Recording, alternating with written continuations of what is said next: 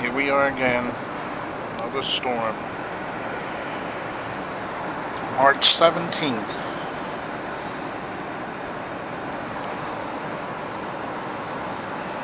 It's coming down.